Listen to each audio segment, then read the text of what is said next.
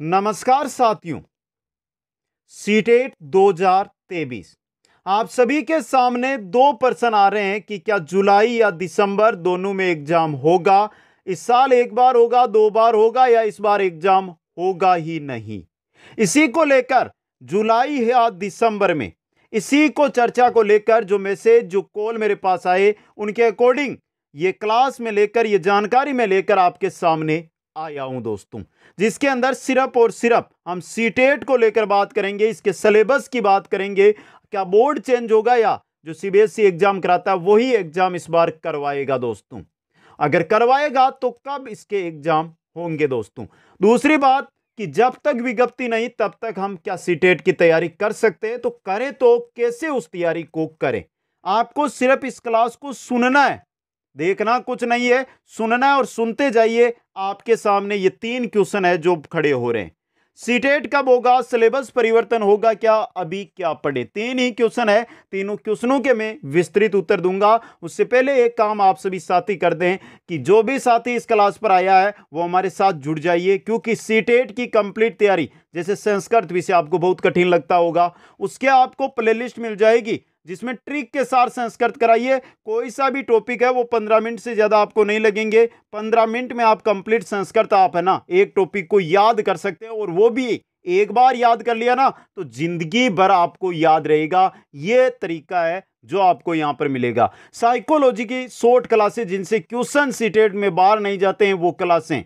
हिंदी की वो क्लासेस जिससे आप ट्रिक के साथ हिंदी पढ़ सकते हैं। इसके अलावा जो सब्जेक्ट है हमारे, जो सब्जेक्ट है उनके बारे में। तो संपूर्ण तैयारी चैनल पर आपको बेसिकली मिल जाएगी। लेकिन आगे जो बढ़ती आ रही है, उसकी भी हम तैयारी करेंगे। बस आप चैनल को सब्सक्राइब कीजिए, इस वीडियो को लाइक कीजिए और कमेंट करके बताइए कि आपको किस सब्जेक्ट की और कौन से विषय की तैयारी करनी है दोस्तों। चलिए पहला क्वेश्चन पहला प्रश्न बन रहा है कि सीटेट कब होगा? देखिए, हम बात करें कि जुलाई और दिसंबर। दो बार साल में सीटेट होता था 2016 से पहले। 2016 से पहले जुलाई, सितंबर, यानी कभी ये जुलाई और दिसंबर कभी अगस्त में चला जाता था तो दिसंबर में हो जाता था, कभी नवंबर, जुलाई में हो जाता था नहीं इस प्रकार ये होता रहता था। लेकिन 2016 के बाद सिर्फ़ और सिर्फ़ 2019 के अंदर ही दो बार पेपर हुआ, एक साल के अंदर। उसके बाद लॉकडाउन भी लग गया। इस वजह से पेपर नहीं हुआ 2021 में हुआ। 2022 के अंदर एक बार हुआ। अब बात आ रही है 2023 की। तो मित्रों, जैसे बोर्ड से हमें जानकारी मिल रही है या जो स्रोतों से जानकारी मिल रही है, उसके अकॉर्डिंग ही हम जानकारी दे रहे हैं कि इस बार पेपर है जो जुलाई में होगा दोस्तों आपका। सीटेट का पेपर जुलाई में होगा और उसके बाद दिसंबर में भी होगा। यानी साल में दो बार ये पेपर होगा। अब यहाँ पे देखिए, जुलाई में होगा तो आप बोल लेंगे, सर, अप्रैल महीना तो चला गया। विज्ञप्ति तो आई नहीं नोटिफिकेशन तो आया ही नहीं, होगा कब? तो मित्रों, मई महीना है हमारा। मई में नोटिफिकेशन आ गया। जून है, जुलाई है, और जुलाई की जगह अगस्त भी तो हो सकता है पेपर अगस्त में भी हो सकता है। और मई में नोटिफिकेशन नहीं आता। देखिए, पूरी जानकारी यह नहीं है कि आपको मई में नोटिफिकेशन नहीं आता और जून के अंदर नोटिफिकेशन आता है। तो जुलाई, अगस्त तो चला जाएगा। सितंबर में एग्ज़ाम होगा। सितंबर में एग्ज़ाम होगा तो अक्टूबर और नवंबर के आसपास रिज़ल्ट आएगा, ऐसी स्थिति में आपका दिसंबर का पेपर कैंसिल हो जाएगा। समझ गए आप? अब यहाँ पे देखिए, पेपर की कोई बात नहीं है पेपर होना है, चाहे जुलाई हो जाए अगस्त हो, पेपर ज़रूर होगा इस बार। लेकिन एक जो क्वेश्चन आया मेरे सामने, सबसे बड़ा क्वेश्चन सीटेट ये नाम तो बहुत ही छोटा लग रहा है, लेकिन 80 प्रतिशत छात्र है ना, वो इसके अंदर हर बार फेल हो जाते हैं। क्या कारण है मित्रों? क्यों फेल होते हो? आप कोई सा भी बड़ा से बड़ा एग्ज़ाम देते हो, उसको पास कर लेते हो सीट एट में आप हर बार रहते जाते हो। कारण क्या है? एक बार पास कर लो, आजीवन है आपके लिए फिर तो। तो इसका कारण बता दूँ ना। इसका कारण मैं सबसे पहले आपके सामने रख दूँ तो देखिए सीटेट है, इसको हम क्या समझते हैं? कि ये तो बहुत ही आसान पेपर है। समझे आप? और जब पेपर देने हम जाते हैं तो वहाँ पर सीटेट का पेपर देखते हैं तो ये लगता है कुछ नहीं आ रहा। कुछ नहीं आ रहा।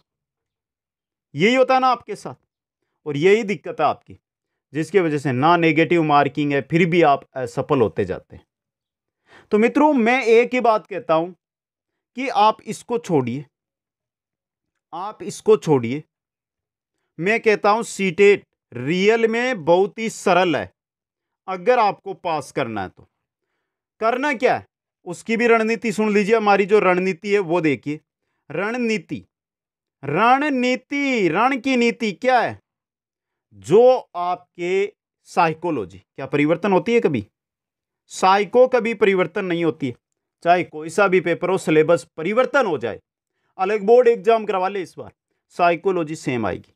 लेकिन आप कब पढ़ोगे, जिस दिन नोटिफिकेशन आ जाएगा ना, उससे पंद्रह दिन बाद पढ़ना शुरू करोगे। क्यों मित्रों? साइकोलॉजी है, आज आप याद कर लो इसको, आज ही आप इसको कंप्लीट कर लो। हिंदी है आपकी? इंग्लिश है? या अदर लैंग्वेज है या संस्कृत है? इन लैंग्वेजों को आप तैयार कर लो। एक टॉपिक हटा तो एक टॉपिक जोड़ देंगे तो उस टॉपिक को ही याद करना होगा।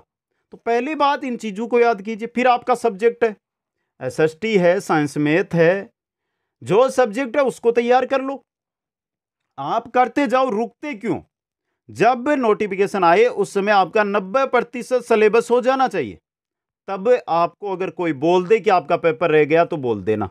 लेकिन यह बात है ना, सुन सभी रहे करोगे मात्र पाँच प्रतिशत। करेगा कोई नहीं, क्योंकि मोबाइल में अगर क्लास मिल जाती है तो पाँच मिनट क्लास देखोगे और फिर बोलो सोचोगे कि क्या करना है। एग्ज़ाम होगा, उससे दस दिन पहले देख लेंगे। अभी हम वीडियो देख लेते हैं, कोई गाना सुन लेते हैं, कोई गेम खेल लेते हैं फ़िल्म देख लेते हैं।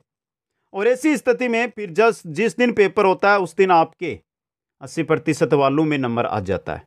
तो इस रणनीति को आपको चेंज करना है। और अभी बोल रहा हूँ कि जुलाई के अंदर, जुलाई के अंदर आपको ये पेपर लेना है, बोर्ड को और आपको देना है। जुलाई में नहीं तो अगस्त में, इन दो महीनों में ये पेपर होगा।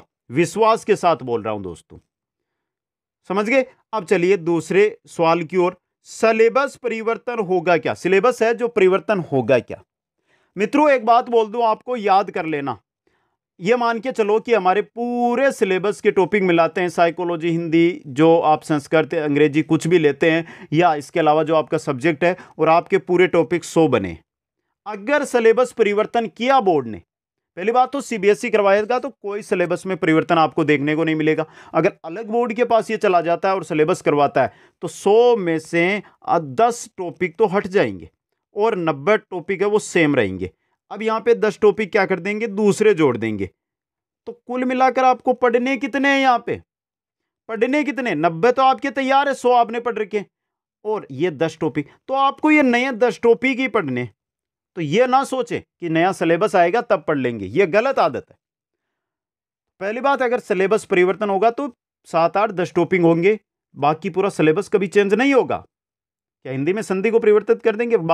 साइकोलॉजी में बाल विकास को उठा देंगे? कभी नहीं नहीं हटाएँगे, ये ऐसे टॉपिक है जो हर बार रहेंगे। इसलिए ये ना सोचे कि सिलेबस परिवर्तन होगा। वो ही रहने वाला है, एक दो, चार, पाँच टॉपिक हट सकते हैं, जुड़ सकते हैं तो उनकी कोई दिक्कत नहीं है, हम बाद में भी तैयार कर सकते हैं। अब आता है कि अभी क्या पढ़े? अभी क्या पढ़े? अभी देखिए मित्रों ज़ीरो लेवल से शुरू कीजिएगा। मेरी मानो तो ज़ीरो लेवल से। और आप कमेंट कर देना आपको जो विषय, जैसे संस्कृत विषय कठिन लगती है, कि सर आप ज़ीरो से पढ़ाओ।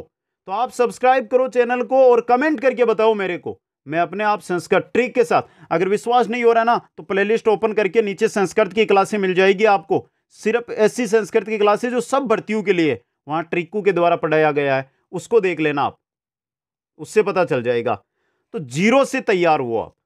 ये समझो कि आपको कुछ नहीं आ रहा है। आप बिल्कुल ज़ीरो लेवल से पढ़ना शुरू करो। एक एक टॉपिक है, उसको पढ़ो, उसके नोट्स बनाते जाओ। दिन के हर विषय के पाँच एक एक टॉपिक लोगे तो पाँच टॉपिक होंगे। अगले पैंतीस दिनों के अंदर आप कंप्लीट सिलेबस है, इसको तैयार कर सकते हो।